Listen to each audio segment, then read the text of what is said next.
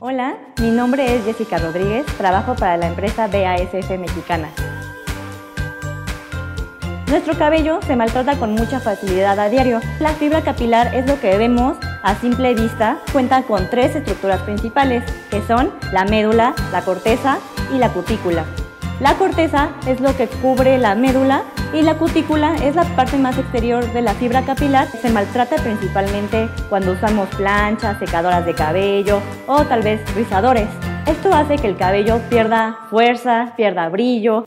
El córtex, por su parte, se maltrata principalmente con tratamientos químicos, como son los tintes de cabello, y esto hace que nuestro cabello pierda desde volumen hasta suavidad y también puede perder la elasticidad que tiene normalmente y también que se quiebre con facilidad. Para la parte de la corteza capilar hay diferentes tipos de proteínas de origen natural como son el trigo, el arroz, la almendra y la soya, para poder proteger nuestra médula, que es desde la raíz, lo más interno que tenemos de nuestra fibra capilar, se utilizan proteínas como la queratina, el colágeno y la leche.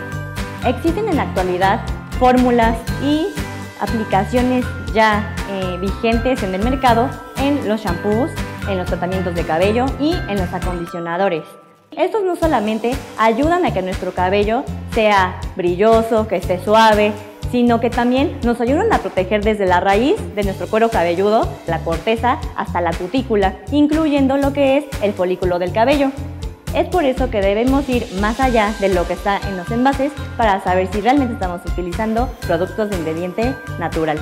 Así que recuerda, si tú quieres tener un cabello suave, bonito y fuerte, ve a SF, que proporciona materias primas para este tipo de ingredientes para el cuidado personal.